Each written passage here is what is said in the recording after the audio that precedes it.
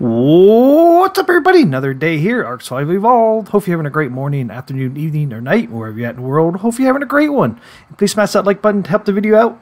Okay, guys, today I'm going to show you how to get resin for your Rhyniognatha.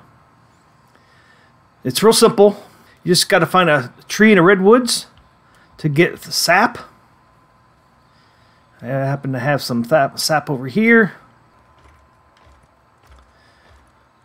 And there's certain trees in your redwoods that you can get tree sap from. So here's a tree sap tap, which you can get the engrams for. One of the things you'll need is you can use a tree platform to get access to your tree tap. I just have this little thing made up right now. Here's a tree tap. You have to be a level 36 to get the tree tap. And there it is there. And all you need is 40 cementing paste and 100 metal ingots. That's all you need.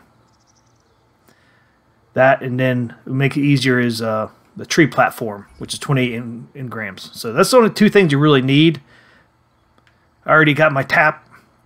And all you have to do is there's particular trees you can put this to, but it's really easy to figure it out because if you have the tap in your hand, you just run it up a tree. If it turns green, you can tap it. If it doesn't turn green, of course, you can't tap it. So you just got to tap it and then get access to your inventory. I got 20 right now. Wow, that's all I have in there. This thing's been in there forever. Uh, and, and you just take the sap out and then you put it in the inventory of your rhino. And then you just take the tree sap, stick it in the inventory of your rhino, and it'll automatically start making resin after a while. It doesn't take long. Okay, so there we go. I got one already. So you get one resin from one tree sap. So that's pretty cool. So it's one to one ratio, which is nice. And that's all you got to do is get your resin.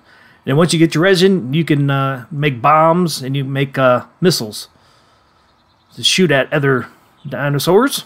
Already up to five, already up to six. So it does take no time at all to make resin inside of your rhino.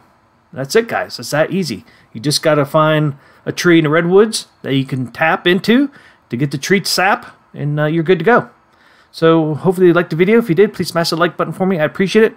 If you're new to the channel or haven't subscribed yet, please hit that subscribe button and turn that bell on, and I thank you in advance. And if you have any comment, questions, concerns, just leave them in the comment section of this video. Until next video, I will see ya.